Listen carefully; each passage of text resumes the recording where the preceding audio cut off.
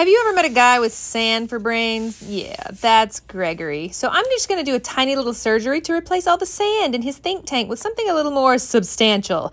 So I get him set up on the torture device, I mean the operating table, so that I can replace his brains. And I found the perfect brains for Gregory. Oof, he's he's probably fine. He's used to this.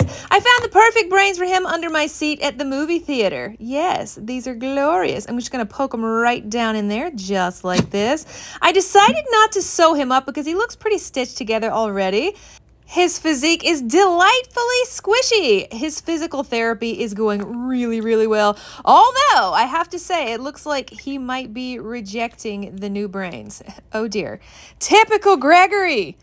Don't be a Gregory, guys.